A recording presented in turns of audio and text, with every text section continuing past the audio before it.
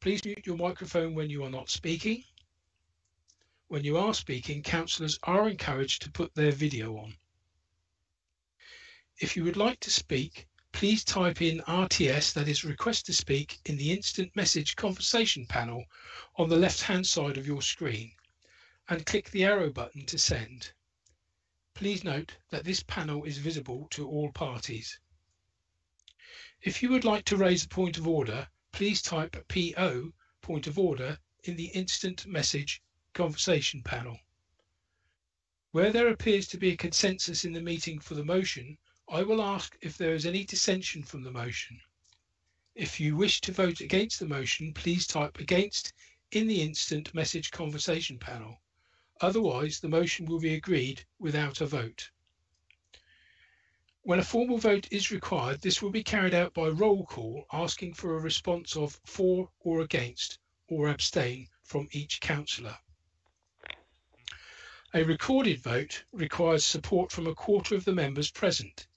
If a request for a recorded vote is made, unless I have already received notification of the request and 25% of the meeting have already intimated that they are in support, a roll call will be taken up to the point that a quarter of councillors present at the meeting support that request. If my connection is lost during the meeting, the Vice Chairman will take the chair until my connection uh, resumes. And finally, Please ensure background noise is kept to a minimum as far as possible and that mobile phones and other devices are switched to silent for the duration of the meeting.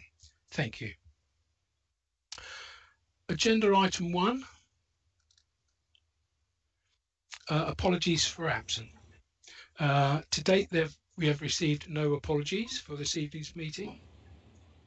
Agenda item two, declarations of interest. Chief, Chief Executive, can you report on any declarations of interest received, please? Thank you, Chairman. No, we've received no declarations of interest. Thank you. Agenda item three, public issues. In accordance with the Constitution, a public question has been received and published on the website and a link circulated to all members. The question is from Kate Salter, on the election of the leader of the council. A response to the question was not available before the meeting in accordance with the constitution. I shall therefore invite the acting leader, Councillor Mark Howell, to respond to the question. Councillor Howell, please. Thank you, uh, Chair. Just like to clarify that the Constitution does leave it open for the question to be uh, answered actually in the meeting, which I am about to do so now.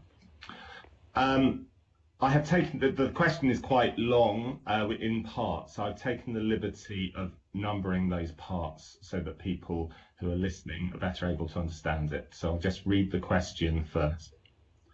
Considering one, the petition supporting Councillor Vicky Slade has 1,794 signatures. Two, a support for the Unity Alliance petition was created but could not be submitted in line with constitutional procedures due to the extraordinary general meeting being scheduled imminently. Three, the Conservatives only had 28% of the votes in the 2019 local elections. And four, they cited road closures as a major factor in the vote of no confidence, despite positive changes to active travel already being witnessed, where, where these have been implemented. Could a cross-party cabinet be formed, giving a true representation of all the, B all the BCP community's political preferences? I'm now going to answer the question. Following the elections in May 2019, two balanced groupings emerged within the council, the Conservatives and the Unity Alliance. As minority groupings, neither has a democratic mandate to govern, although many would view the Unity Alliance as having greater authority by virtue of the weight of its collective votes in the elections. A cross-party Unity Alliance cabinet has been in place for the last 16 months, including members of the following groups. Lib Dems, Christchurch Independents, Poole People and All, Bournemouth Independent and Green, and Labour. Each of these groups committed to work together, but without the imposition of a whip. The Unity Alliance governs with the support of unaligned members, but the death of two Unity Alliance members and disagreements over policy with unaligned members weakened it to the point where its leader lost a vote, vote of no confidence last month. The current political makeup of the Council, the COVID 19 crisis, and the consequences of the Council merger in 2019 now demand a more collaborative approach across the Chamber. Working collectively across groups can be challenging, especially when you take on the responsibility of governing through Cabinet. It requires listening, respectful consideration, and compromise. Unfortunately, the approach of some members has resulted in a lack of trust between the groupings.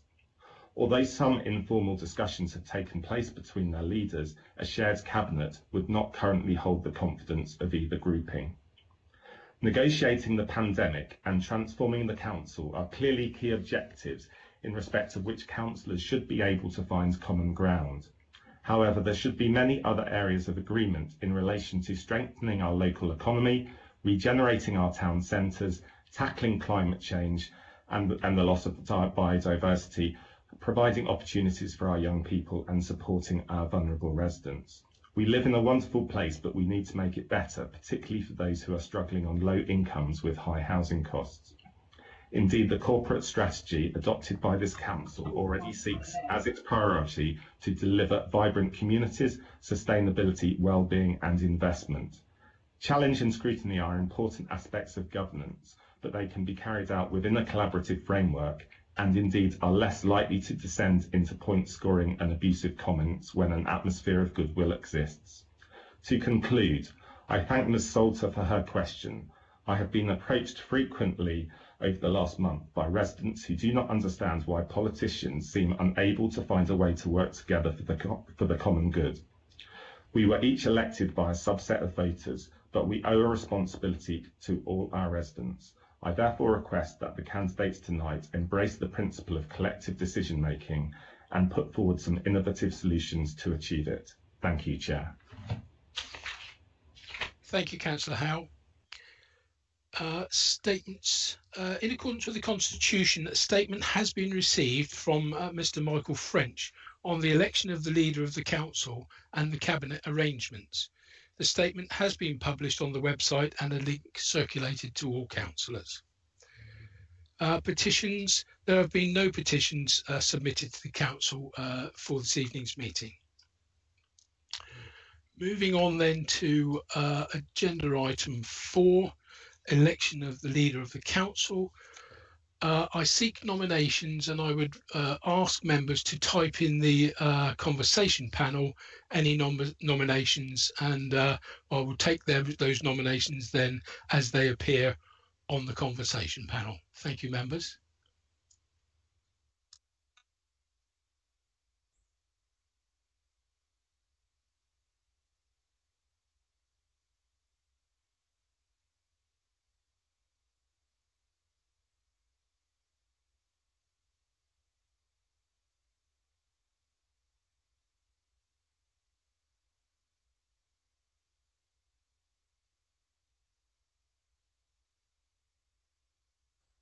Thank you, members. Uh, we have two uh, nominations. Uh, firstly, Councillor Lesley Dedman, who is nominating Vicky Slade.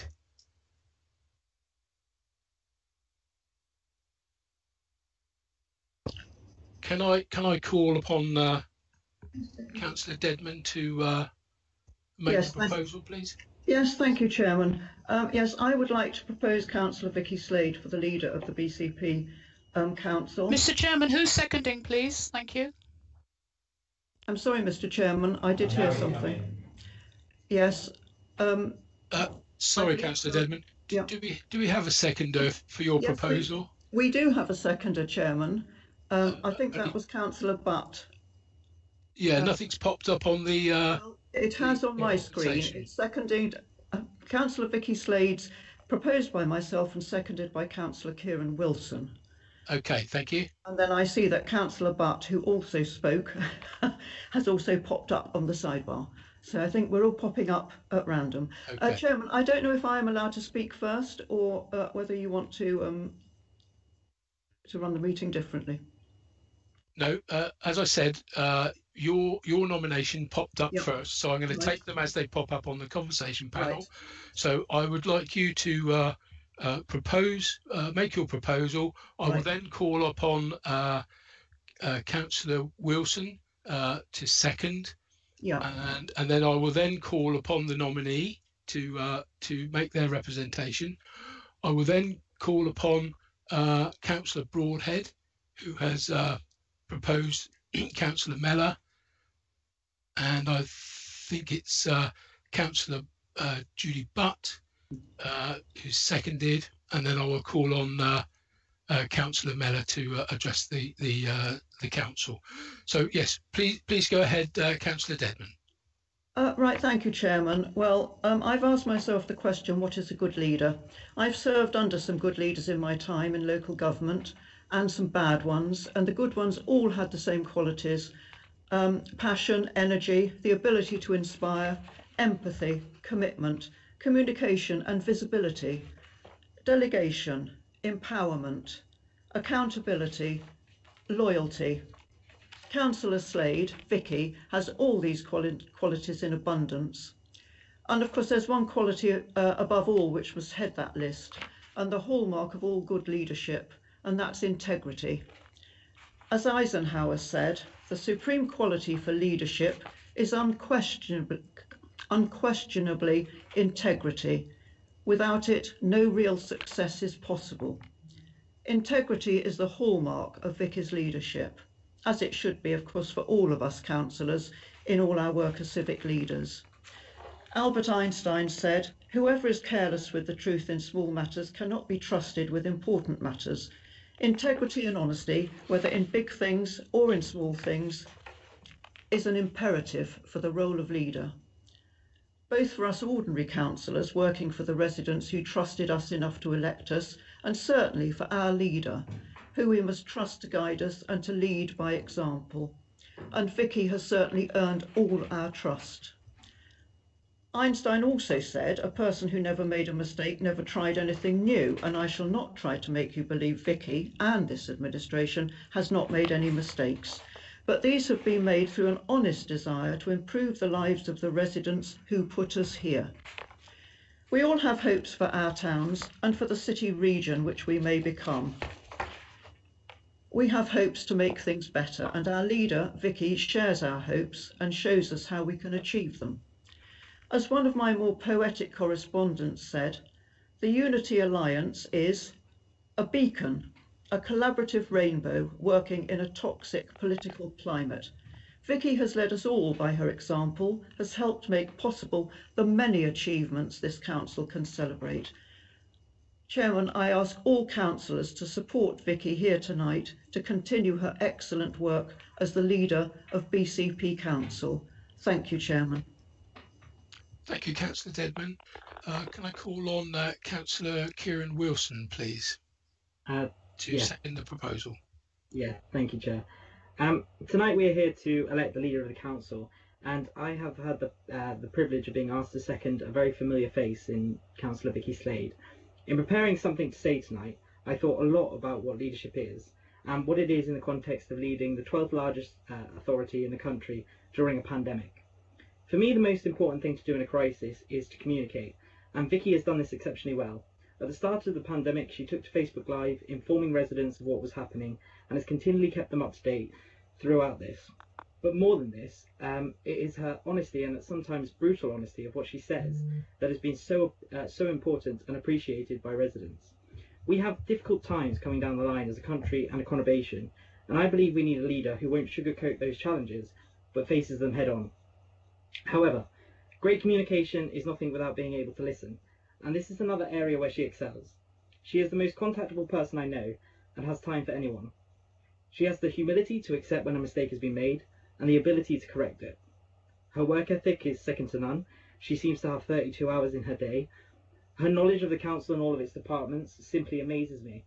She she often makes light of the fact that she doesn't have a degree, but she could easily have a PhD on how to run a council and write her own book on how to do it during a pandemic. In both votes of no confidence, the criticism was not aimed at the leader.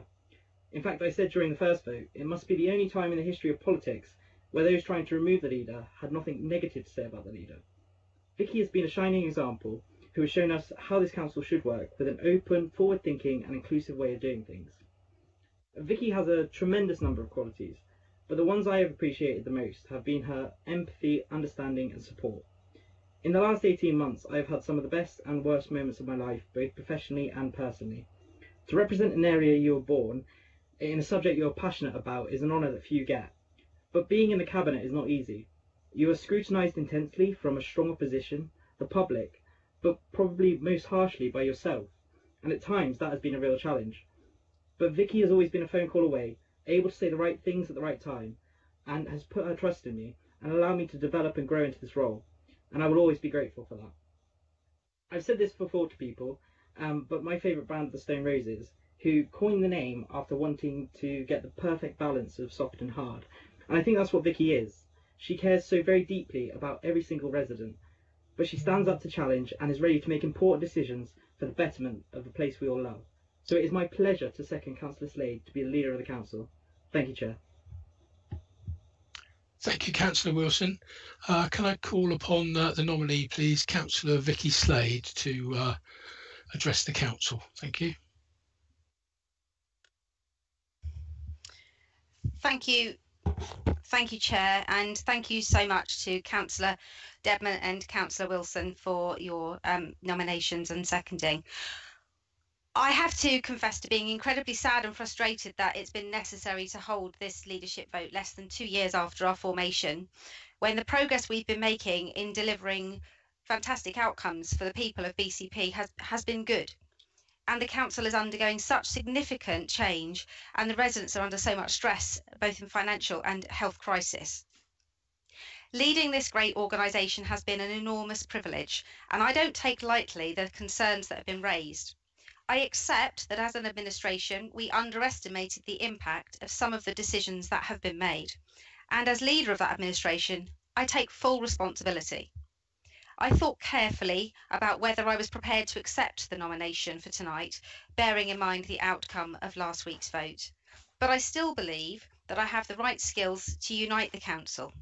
Integrity, honesty, respect, commitment, and professionalism and the trust and confidence of our officers, residents, partners, and businesses to continue the work that I've done to put BCP on the map as a progressive, innovative place and a council that means business.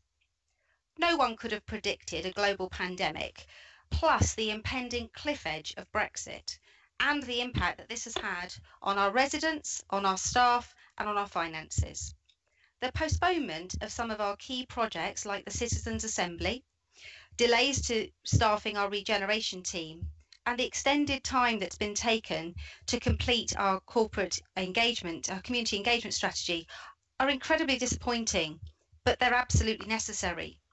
Our ability to push on with the work that we're doing to eliminate hunger in this borough, um, the creation of the Together We Can Resilience Hub, the the building of a brand new children's plan, the winning of funding for the Boscombe Town Fund and the Poole Heritage Plan, and just yesterday, the completion of the power station site, just over a year after we took the decision that we couldn't leave it in private hands to develop, show that we have delivered where it's mattered and where time has been of the essence.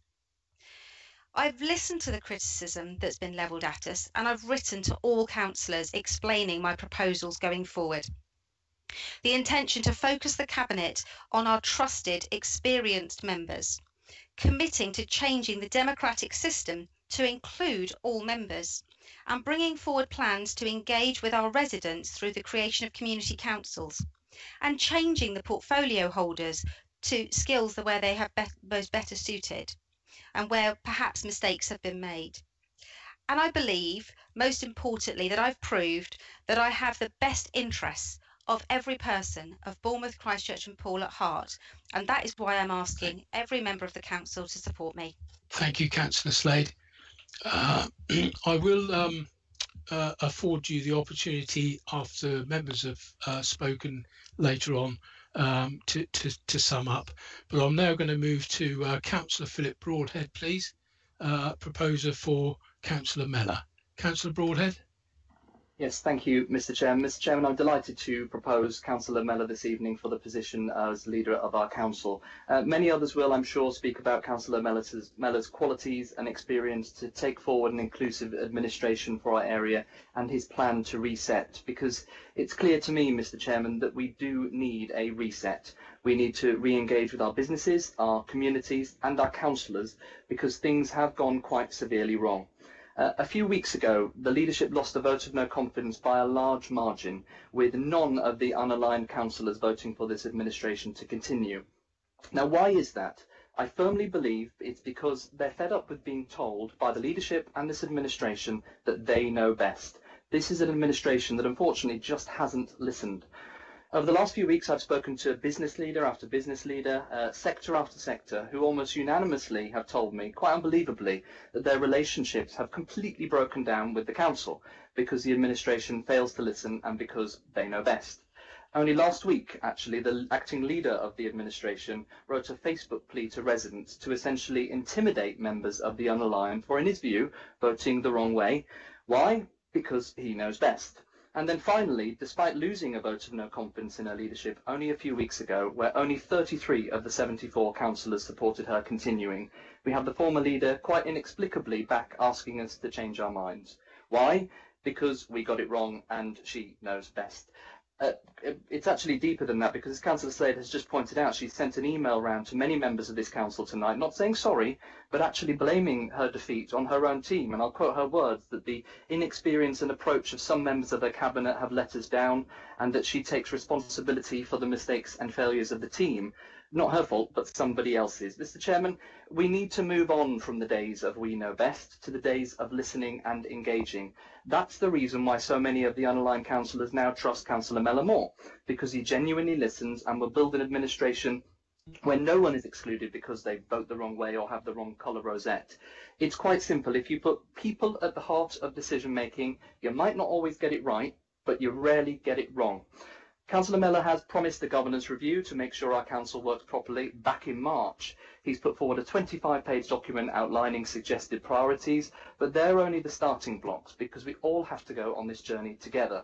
There's so much talent and experience in this council and will only be truly effective if we stop telling people what to do and start working with them.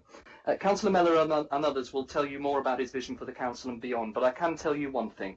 It won't be all about him, it won't be a one-man show, and it will be an administration that will never ever say, we know best. That's, Mr Chairman, is why I'm delighted to propose Councillor Mellor to be our new leader tonight. Thank you very much. Thank you, Councillor Broadhead. Uh, I'd now like to call on uh, Councillor Jude Butt, who is uh, going to second Councillor Mellor. Councillor Thank Butt? you, Mr Chairman. Uh, yes, thank you. I'm delighted to second uh, Councillor Drew Mellor for the position of leader of BCP Council. Councillor Drew Mellor, we know he's a local government politician, as are both candidates, but what do we really know about him? What is outstanding about Drew's ability and achievements that makes him the right person for this complex role of leader of this enormous council? The skilled entrepreneur, childhood home, a council house in Guildford, first of his generation to achieve a oh, degree. Oh, really? Excelled as multi-prize winning graduate, majored in and was quickly promoted in the corporate finance arena with Price Waterhouse Cooper. Now a very successful business owner, employing 200 staff, turnover of 20 million, and winning the prestigious Enhanced Growth Award for Dorset Business Awards only last year for outstanding growth. He's now sharing his huge knowledge of the industry through various non-executive directorships. The Public Spirit. Funded, founded and chairs the mental health children's charity Stormbreak. Organises and runs charity marathons, proud to serve as a school governor for over 10 years. The experienced councillor. Past deputy leader of the Isle of Wight Council, Borough of Poole Cabinet Member for Transportation, living in his ward and dedicated to his residents in Talbot and Branksome Woods. The family man. Married to Kate with two tiny children and cricket and rugby mad. With an established backdrop as a proven professional and grounded community leader, how will Drew deliver for BCP as its council leader? With decisiveness, enabling timely decisions to move along the turgid impasses that so often afflict glacial council decisions. with integrity, applying a set of strong shared values, making the right ethical choices together, ensuring the Council maintains a strong positive image, building skilled teams, creating and maintaining a collaborative team of councillors working towards shared goals, problem solving, staying calm and identifying step-by-step solutions, ensuring our transformation projects are completed on time, in cost and on spec, stemming the flow of council taxpayers' money lost to so many failed projects. Trustworthy, delivering on agreed plans and keeping promises, creating a resilient, eclectic council of elected members who are able to work together for the benefit of all our residents. I've watched Drew develop over time into a politician who puts people first, not personalities. Drew is determined to use all skill sets of all elected members and engender real mutual respect, removing the pointless cockfighting that just gets in the way of good fiscally sound governance. Drew will create a sound base we can all rely on and work from. Drew That's, will uh, move us three from minutes, the UA-led panic of politicians lurching Councillor Butt, between constantly Butt, conflicting policies to providing deliverable, fiscally sound governance. Good leadership is Councillor contagious. It inspires is all to three take minutes. part. Everybody else had three and a half minutes, Mr. Chairman, because I timed them. No, Three and a half minutes. I No, am on to no. three and a three half minutes, minutes. Three minutes. Three and a half. minutes. Three minutes is the rule. Drew is the person to take everyone going I forward together. Thank you, Mr. you Chairman. To turn What- your microphone off. I will turn my microphone off, Mr. Chairman, and thank you for curtailing what was uh, the truth about the whole matter. You three had and a more than half three minutes. minutes. Everybody else You had. had more than three minutes, Councillor Butt. Thank you. I'll now call on uh, uh, Councillor Drew Mellor, please, the nominee. Thank you, Chair. We're here tonight because the Unity Alliance, under Councillor Slade, has lost the confidence of this chamber. The Unity Alliance has also lost the confidence of our residents. To continue with more of the same is not listening, and we will not make this mistake. Do we hear from our residents, those pride in our town centres? Our streets feel safe enough, or clean enough, that the economy is improving, or even important to this administration? That lives are improving? No, they say the exact opposite. In listening to this chamber, I was asked to come forward with what we would do, where our ideas and priorities are. Well, I encourage you to read our 25 page reset paper. That is what this council needs, a full reset. We need to prioritise our economy and jobs, and our school children, now more than ever, most particularly those disadvantaged. Bring back pride and a feeling of safety across our towns. Our first 100 days plan will actively address these issues and more. The how is as important as the what. How are we going to do this?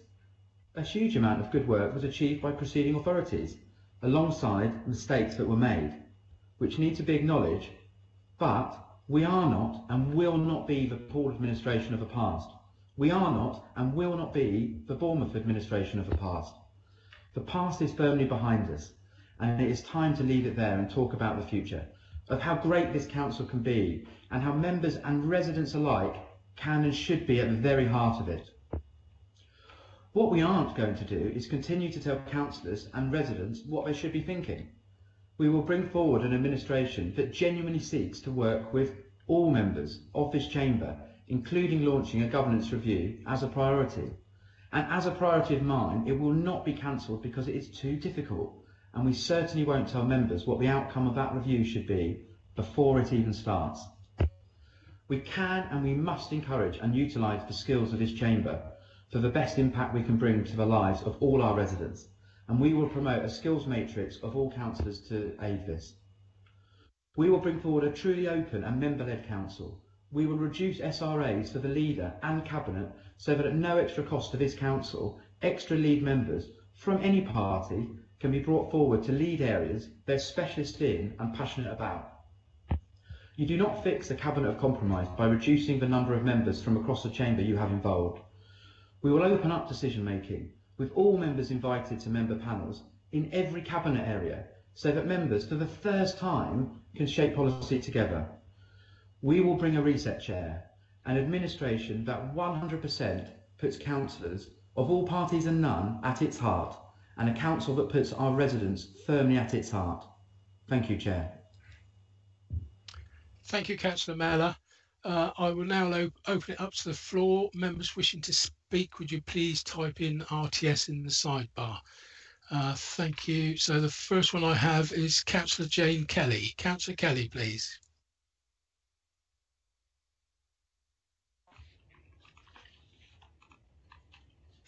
Thank you, Mr Chairman. Excuse me for the slight delay while I turned on everything. So uh, thank you for allowing me to speak first. An administration that puts councillors at its heart and a councillor that puts residents at the heart of it. How pleasing it was to hear Councillor Mellor speak those words. They are so important for we councillors to remember why we're here and what we stand for.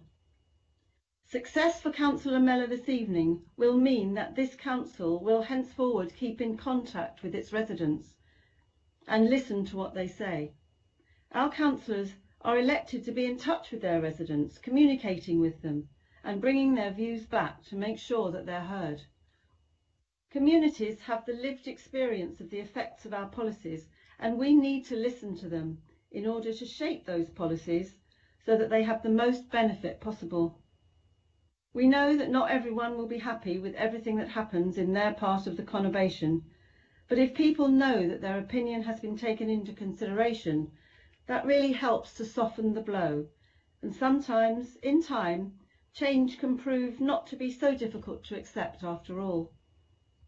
Something else for us to really work on, bringing the three towns of Bournemouth, Christchurch and Poole together as one large cohesive community which can work in partnership, raising standards across the piece.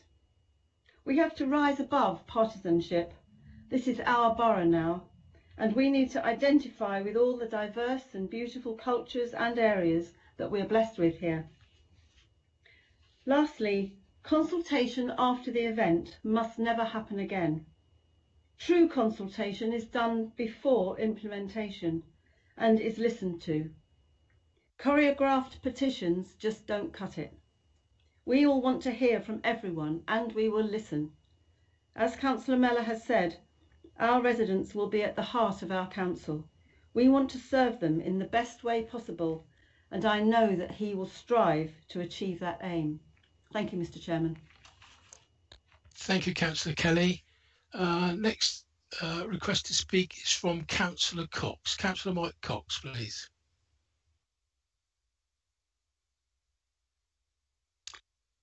Thank you, Mr Chairman, fellow councillors. We should start really by congratulating Councillor Mellor for winning the vote of no confidence motion uh, a few weeks ago. It is a political achievement to bring down a, a leader achieve, uh, supported by 60% of the electorate when you only have the backing of 28%. It is even more brave of him to cause her downfall when she is held in such high regard by so many independent commentators and the public. If Councillor Mellor wins tonight's vote, we should expect great things from him from someone so successful and so brave. He certainly has a tough act to follow. But we should fear not. According to Councillor Mellor's CV, he is chairman of and runs a very successful engineering company. So successful, he manages to be chairman without being a director, a feat only achieved by Frank Sinatra when he was chairman of the board of a very dubious set of uh, characters from Las Vegas. And but according to the standard Table A Memorandum and Articles of Association, only a director can be elected chair, but Councillor Mellor doesn't worry about technicalities, does he? To promote himself as leader of the new BCP Council, we must take someone it must take someone with special ability of communication and attention to detail.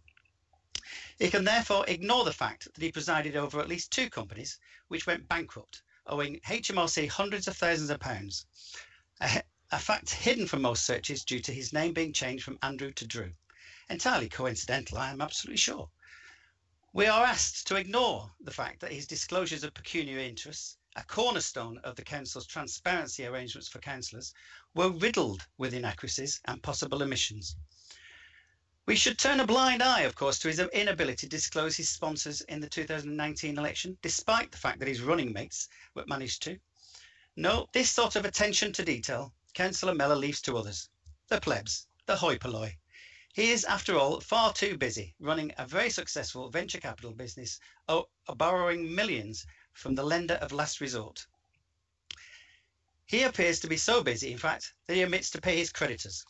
Two county court judgments registered against him in 2018 and 2019, one of them for £10,965, still not satisfied, bears testament to him playing fast and loose with other people's money.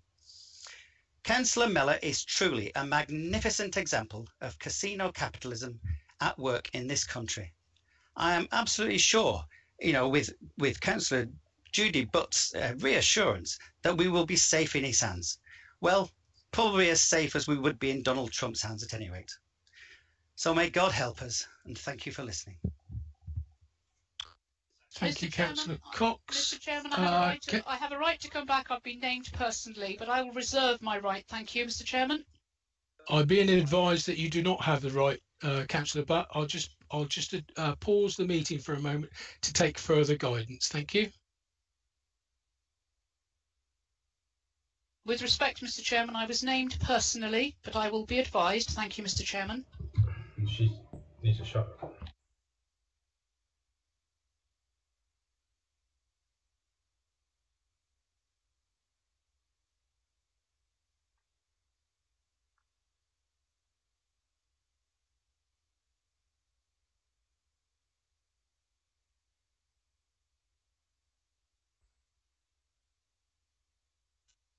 Uh, Councillor Butt, can I just confirm that you wish to make a personal explanation in No, I think I think, Mr. Chairman, actually, uh, in the interest of brevity, I was named. I will uh, not make any further comment. It was an outrageous statement, the whole speech, but I will leave it at that, Mr. Chairman. Thank you. Thank you, Councillor Butt. Uh, Councillor Tony Trent, please, next uh, to speak. Councillor Trent.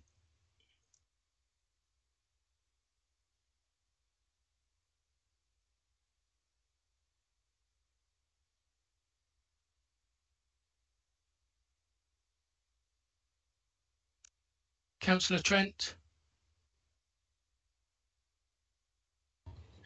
Councillor Trent is just sorting out his Is it? Councillor Trent, please. Oh, Uh, he is still just struggling with Oh, his microphone. One moment. Thank you, Councillor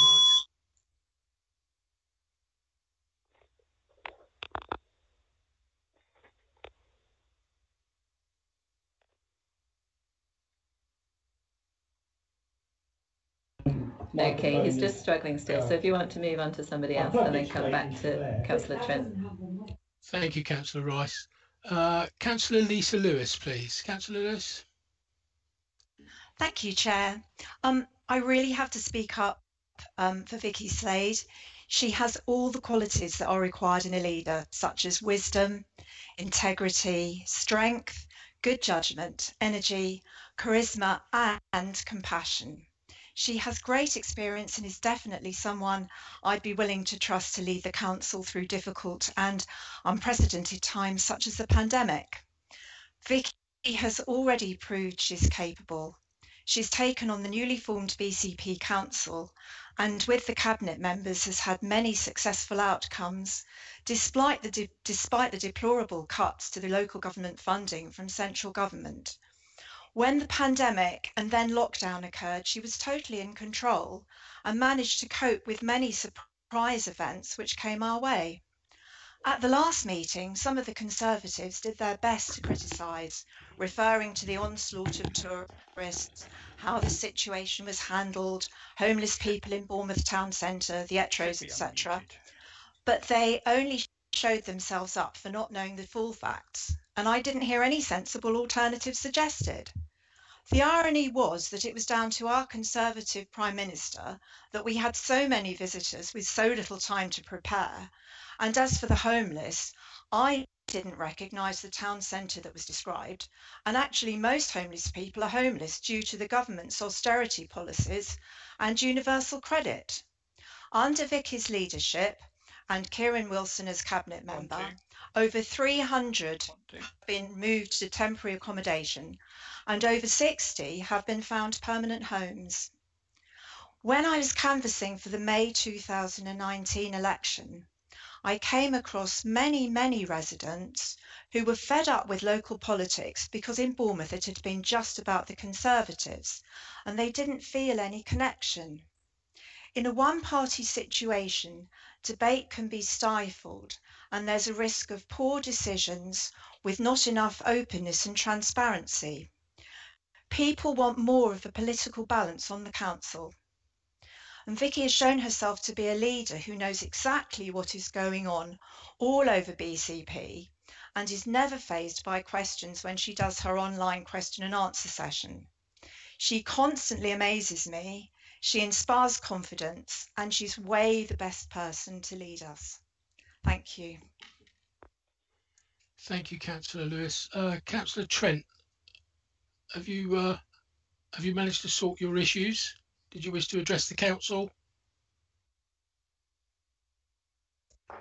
Hopefully it works. Is it working? Yes, I can hear you loud and clear, Councillor Trent. Oh, thank goodness for that. these uh, th these headphones were doing weird things. Right. Um, right. I'll start again. The one thing I won't be saying this evening is that I've agonised over the decision before us. The decision for me is clear and unequivocal. We should be supporting Vicky Slade as leader of BCP Council.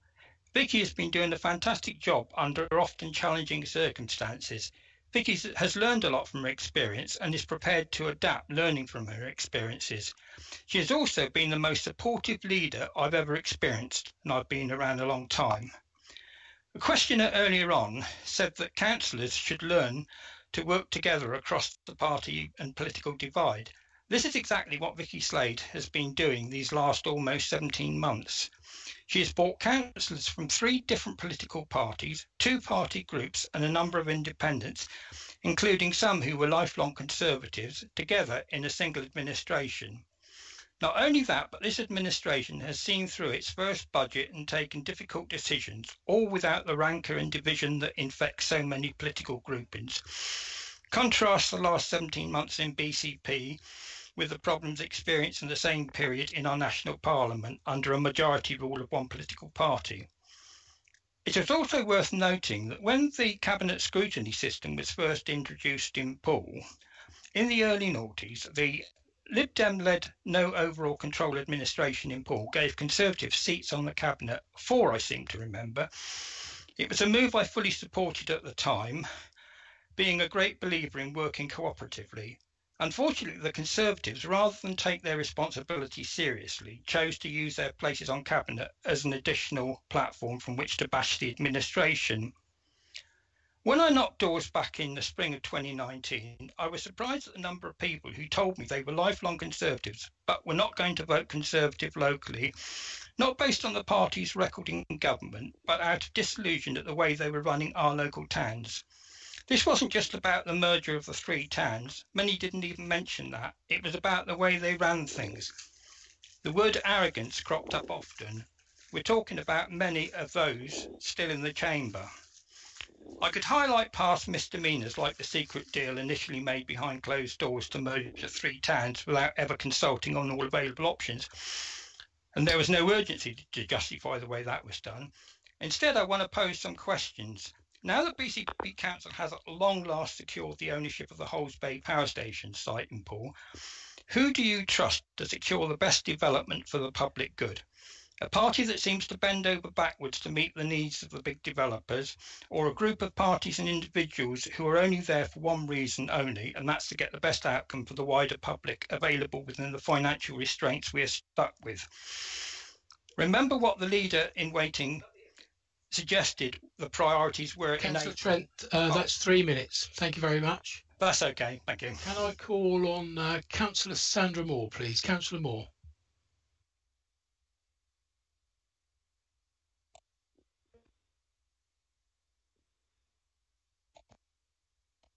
Yes, thank you, Chairman. Um, sorry, I couldn't find my mute button. Uh, to bring us all here for this extraordinary general meeting, two councillors have died, including my own colleague. So forgive me, but I am really feeling this tonight. And we're not allowed to hold any by-elections. And in these uh, COVID-19 days, the only way to change an administration is to go down this rather unpleasant route. And Vicky simply does not deserve to be treated like this. But despite that, she's agreed to stand again. And I want Vicky Slade to lead this council. A leader with integrity, copious energy and a strong work ethic. A leader who leads from the front. A leader who will work with everyone and on behalf of everyone, irrespective of political party, how you vote, or indeed whether you vote at all. A leader who only wants the best outcomes for everyone living across Bournemouth, Christchurch and Poole, and is not afraid of the work needed to achieve them. Vicky Slade has my full support because Vicky has the skills, the confidence, the determination and the sheer bottle to deliver the goods. Vicky Slade is my choice for leader and I ask you to give her your support. Thank you, Chair. Thank you, Councillor Moore. Uh, Councillor Beverly Dunlop, please. Councillor Dunlop. Thank you, Chairman. Uh, well, it's not in my nature to be horrible, so I'll uh, carry on as I intended. Um, most mornings, I take my dogs to walk on the beach. It never gets boring, and I never take it for granted because my life hasn't always been like this. I was born in the butt end of Birmingham in the late 50s in a council house, and I know what it's like to live hand to mouth, no holidays, outside lav, and frost on the inside of the windows in winter. So I'd like to say to Councillor Wilson that Councillor Slade isn't the only person that kind of cares about those at the bottom and cares about others. But I truthfully am very proud to be working class, and I'm not the only one. Councillors Lawton, Councillor Kelsey, Councillor Mellor and others in our group, all born in council houses, all worked our way up from humble beginnings and worked hard, taking advantage of opportunities because that's what we working class do. But that's only possible when politicians have a mindset to create opportunities. That is surely the purpose of politicians, to enable, to stimulate, to trigger opportunities so that everyone can achieve like we have. And that is what ordinary people want, so that they can determine their own destiny. What they don't want is politicians who know best, who are busy telling them how they must live their lives, what they should think, what they should value, what mode of transport they should use. Oh, and by the way, Christmas is cancelled. Because what we really need to do right now is frighten our residents and businesses even more and push our economy off the cliff. Now is the time to stimulate, enable, support and look for ways to ensure everybody has those opportunities, the ones I had, even in the middle of a pandemic. We councillors are not here to tell people what to do, and the council should absolutely not be run by a tiny group of ideologues. There is some real talent in this council. There are people in the UA that we barely get to hear, our independents who have no less value and skills, all elected to serve. So let me say to everyone in this council, if you want to be heard, if you want the needs of your residents to be considered, even those of you in the not so sexy wards like me, if you want to be involved, consulted and have your residents at the heart of decision making, if you want your skills and experience recognised, then consider that Conservatives are the only group in this council that won't have to appease, compromise or pander to ideologues. If you want to be part of an administration that puts councillors at its heart, in a council that puts residents front and centre, then now is your only opportunity to do so by voting for Councillor Mellor as leader. Thank you, Chairman. Thank you, Councillor Dunlop. Uh, Councillor Tony O'Neill, please. Councillor O'Neill.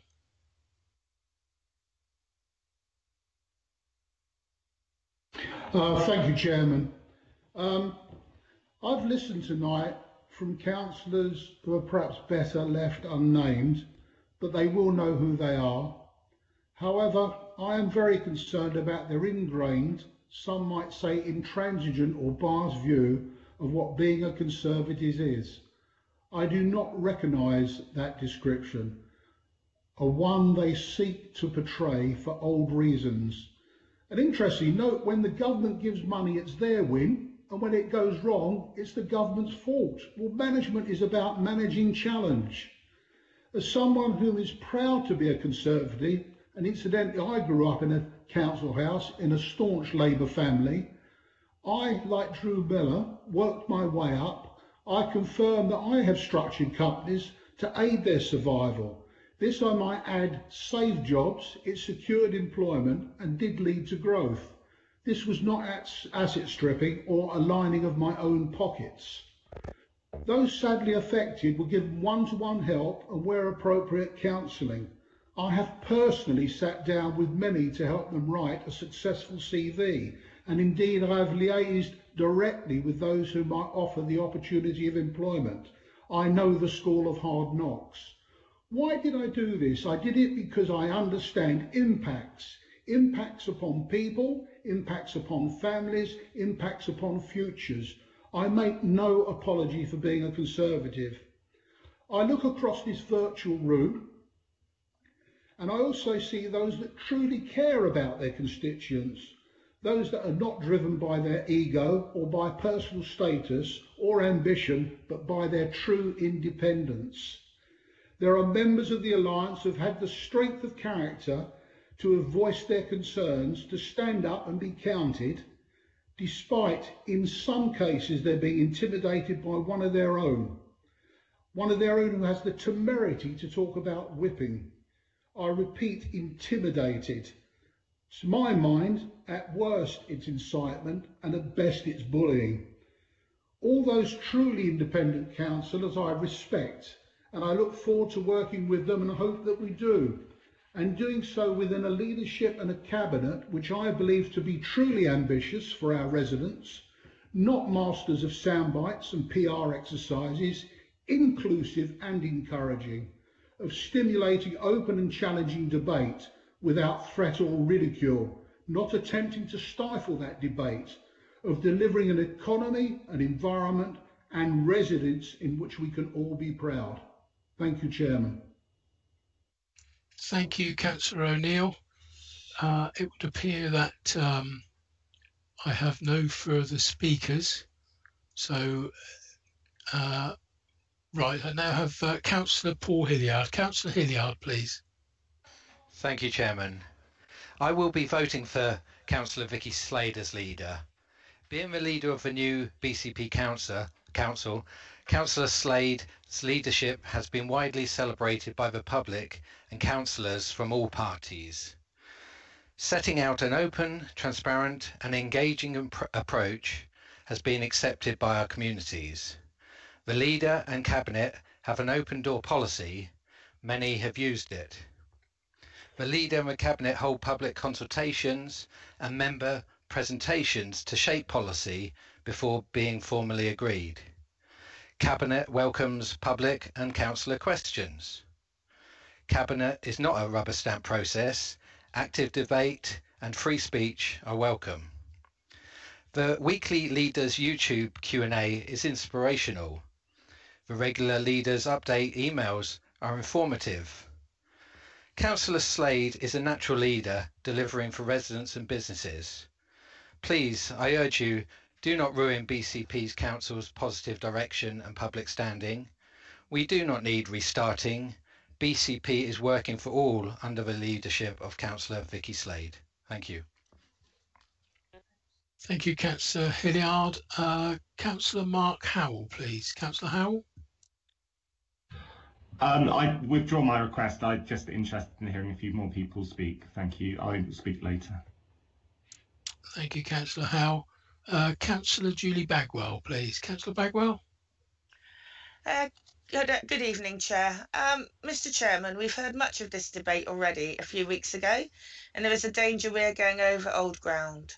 Therefore, in the interest of moving it forward and pursuant to Procedure Rule 9 and Appendix 1 of the Part 4 Procedure Rules, I move that the question now be put and that we go straight to the vote If I get a seconder, I understand from the monitoring officer that we then take a vote on this proposal and that if that is successful, we move directly to the vote on the main motion. Thank you, Chair. Thank you, Councillor Bagwell. I'd like to second that, Chair.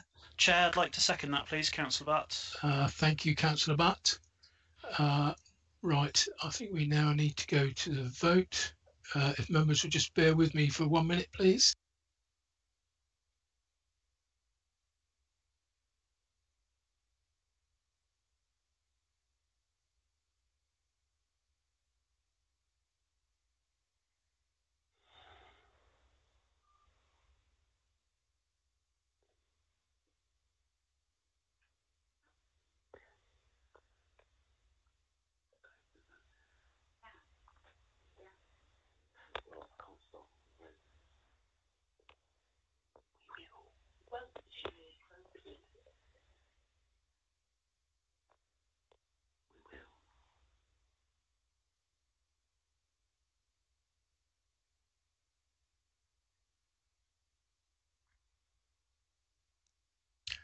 Thank you, members. Uh, I did offer uh, both Councillor Mellor and uh, Councillor Vicky Slade to to speak uh, or to address the, the council once again. But what I will do is I will I will go to the vote first of all in terms of the, the that the question now be put, and then uh, and then I will ask uh, Councillor Mellor and Councillor Slade to address the council following the the result of uh, this this ballot in terms of that the question now be put.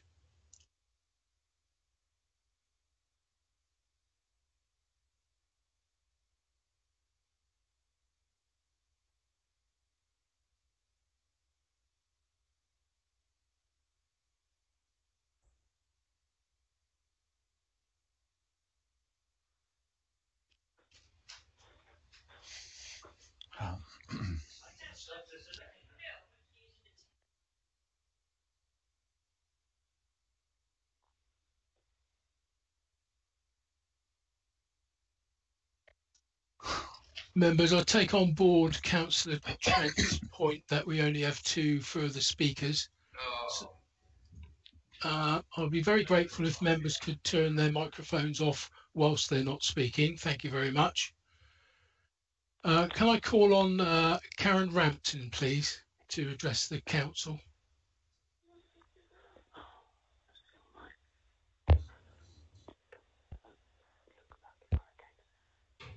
Yeah, um, thank you. Thank you, Chair. I'm sure that all members here tonight will agree that we have a collective responsibility, and that is to ensure the voices of our most vulnerable residents can be heard and listened to. I include our older residents in need of care, our young adults who are transitioning from children's services to adult social care, our residents with a learning disability, with physical disabilities, mental health issues, and of course, cannot forget those who care for them. Unfortunately, whether through inexperience or misjudgment, the Adult Health and Social Care Committee had meetings cancelled and items deserving of scrutiny were, because of this, delayed, now causing a very large backlog. And I include in that day centres and day opportunity provision, pathways to mental health provision, hearing the voices of our People First organisation, and of course the way forward for the health and social care system. They're all vitally important. Adult health and social care will be at the heart of Drew administration's vision and priorities and part of our ambition to provide fair, equitable, world-class services so that our residents can be supported to lead the lives they wish to, to lead. And can I just say, as a footnote, uh, Mr Chair, Councillor Mellor is not only my ward colleague, he's also my friend and he's my neighbour. And I'm really very well aware of his many acts of kindness, compassion, and generosity. He's a man of integrity. He's a natural leader, but he's a leader who brings people with him. And I absolutely support the vote for Councillor Mellor to be leader of the council. Thank you. Thank you, Councillor Rampton. I have one more uh, councillor to speak, uh, which is Councillor Margaret Phipps, and then uh, we will deal you with the. agreed Uh, take just, the vote on the motion. We haven't had the vote on the motion. Where's the vote on the motion? You said that it's recorded. We have no vote on the motion, and we're moving on to other speakers. Thank you, Mr. Chairman. I was there before Councillor Rampton, so I think that it's only right that I should be allowed to speak. uh, members, I've been We have a motion, Mr. Chairman, members, which you want you members, asked to vote please, members, please. I've been advised that I must deal with the motion. I apologise, Councillor Phipps. I Okay, have to deal you. with the motion first of all. I'm sorry. I understand. That's no problem. Thank you.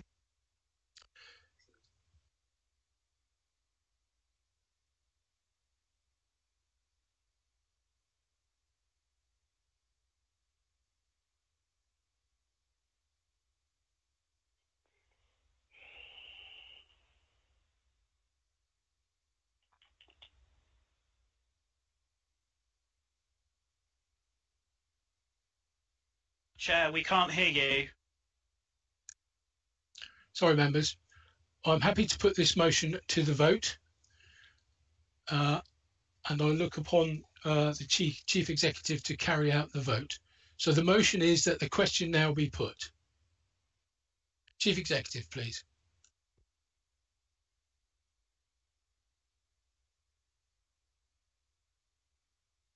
Apologies, Chairman. My uh, video was playing up. Um, so, councillors, this is a, a motion to put the substantive motion to the vote. Uh, so, if you are in favour of the motion now being put, which would terminate further discussion apart from the two candidates that the chairman has uh, indicated, then please vote for. If you wish to continue the debate, then please vote against. So uh, I'll read out each name. Councillor Hazel Allen. For. Councillor Lewis Allison. Against. Councillor Mark Anderson. For. Councillor Sarah Anderson. For. Councillor Marcus Andrews. Uh, against. Councillor Julie Bagwell.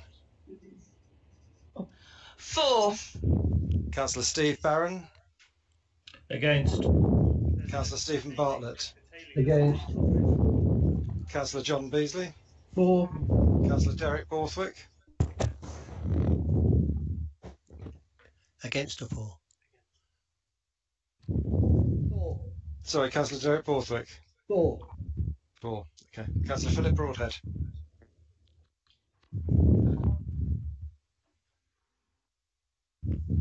Against. Councillor Philip Broadhead. Four. Thank you, Councillor. Councillor Mike Brook. Sorry, Graham. Sorry, Graham. I think someone else is talking on the microphone. I I heard someone else vote then I- and said against. I did hear another voice for sure. I'll wait until Councillor Broadhead came on before I counted his vote for the motion. Thank you, Councillor. Councillor Mike Brook. Against. Councillor Nigel Brooks. For. Councillor David Brown. Against. Councillor Simon Bull. Against. Councillor Richard Burton. Against. Councillor Diane uh, Butler.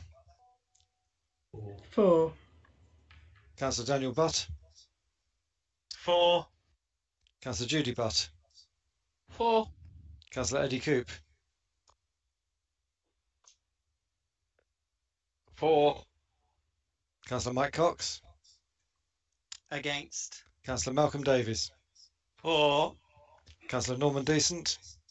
Mm. Shutting off democracy. Uh, after you. Sorry, Councillor Norman Decent. Could you repeat your vote, please? Four. Four. Thank you. Councillor Lesley Dedman. Against. Councillor Brian Dion. Four. Councillor Bobby Dove. Four. Councillor Beverly Dunlop. Four. Councillor Millie Earle. Against. Councillor Jackie Edwards. Four. Councillor LJ Evans. Against. Councillor George Farquhar. Against. Councillor Dwayne Farr. For. Councillor Lawrence Fear. For. Councillor Anne Filer. For. Councillor David Flagg. Against. Councillor Nick Geary. Against.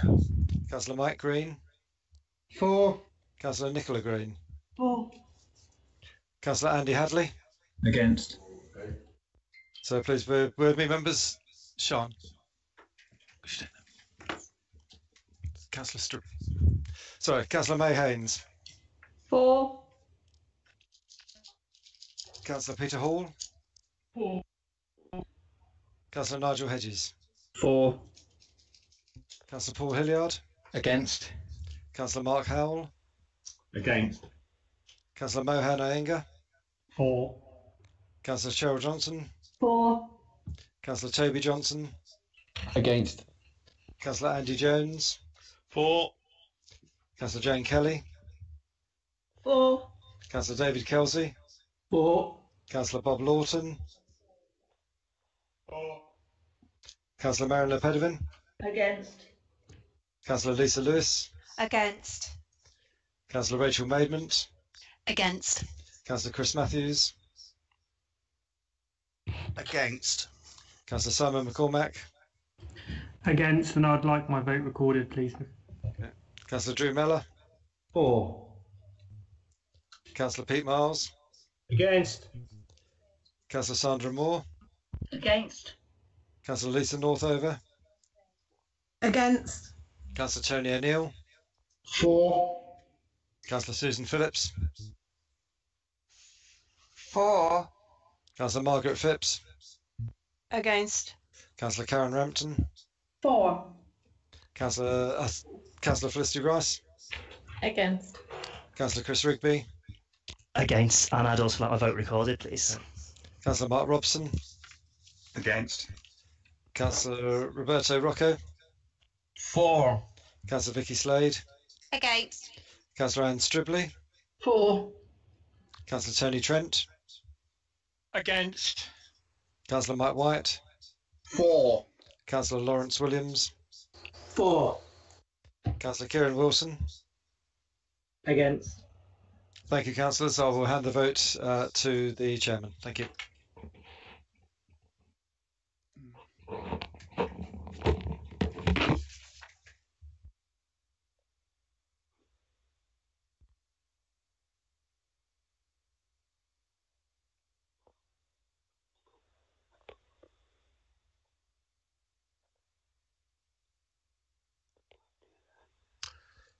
Members, I have the result of the uh, the, the ballot in terms of uh, the motion that the question now be put. Uh, those for 40, uh, those against 34. So the motion is carried. Now, before we, we move to the uh, vote uh, for the leader, the position of leader, I did offer the opportunity for Councillor Mellor and Councillor Slade to address the uh, the, the council uh, before we went to the vote. And uh, I'm now going to ask uh, Councillor Mellor if he wishes to uh, address the council, please, and then I will ask Councillor Slade. Uh, again, we're looking at three minutes for, for your summing up. Councillor Mellor, please. Chair, thank you, and you'll be pleased to hear I don't intend to use the, the, the full three minutes to sum up. How interesting that debate was. Um, when, when we're called the nasty Tories, well, have a look at this alliance uh, and, and your gutter politics. You can see why so many people are leaving you or considering it. And if you're not, if you are considering it, you know, your continuing alliance puts you next to, you know, that man who spoke earlier on. Um, i really enjoyed um, Councillor Dedman's uh, speech in terms of when she said, a person never made a mistake, never tried anything, uh, quoting Einstein. And I'll challenge anybody um, to find a successful entrepreneur who hasn't made a mistake. I'd also like the, the other quote reference to the chairman of the board. Um, one other thing the chairman of the board said was, I did it my way. And I just like to reiterate that I'm very proud of my journey and mine and my wife's success to, to date. Let's reset this debate. That's what I want to say. Let's be better than this. Residents deserve better than this. My pledge is honest and true, and I reiterate it here. I will bring forward an administration with members at its heart and a council with residents at its heart. Thank you, Chair. Thank you, Councillor Mellor. Uh, Councillor Slade, please. Thank, thank you, Mr. Chairman. Um, I have found it quite difficult to hear, first of all, from the proposer um, of Councillor Mellor that we wouldn't be hearing about Drew. Um, and then, uh, because we, it wasn't about a leader, it was about a team. Uh, and then to hear all about how he came from a council house, uh, which I didn't find particularly relevant because there are so many people who come from a council house, but we heard nothing about their failure to deliver housing, uh, and yet we've delivered affordable housing and we've committed to deliver so many more. Um, I've heard all about him being a parent and a school governor, which is a given for a lot of us. Indeed, I can add four children, a school governor, running a youth club, but it's actually irrelevant. What's relevant is that we've protected our children's centres and we've protected our youth centres and we've developed a children's plan. I've heard all about the champion of charity. I too have worked for a charity. I too have done my bit for the community. But what's most important is what we've done as a council for the vulnerable and for, for those people who need our charity. I could go on and on about the ice on my windows in my in my childhood, but I won't because this isn't about our background. This is about what we're going to do and how we're going to do it. Just over a year ago, all bar one of the councillors of this council made a commitment to our corporate strategy. Every single member was involved in developing that strategy to brighter futures, to uh, connected communities, fulfilled lives, a sustainable environment, a dynamic region. Why if they were committed to that, did they then decide a few months later, rather than supporting what we've all agreed to do, to bring forward a brand new reset in the middle of a pandemic, which suggested that perhaps they'd spent their time in lockdown rewriting the rules rather than working together to deliver what we'd all agreed to do? Why, if they didn't support the corporate strategy, did they not vote against it?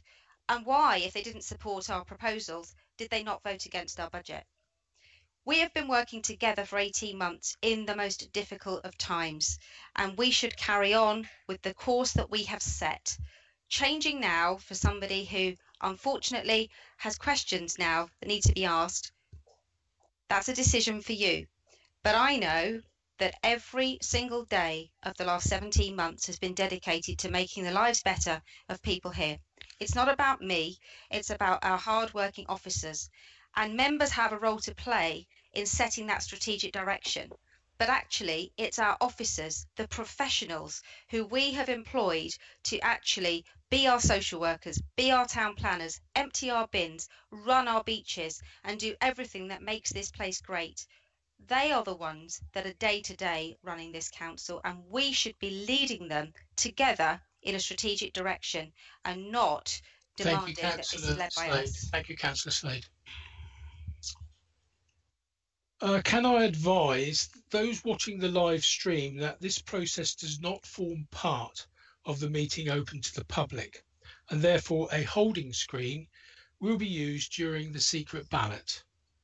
Once the ballot has concluded, we will resume the live stream and the Chief Executive will announce the outcome of the secret ballot.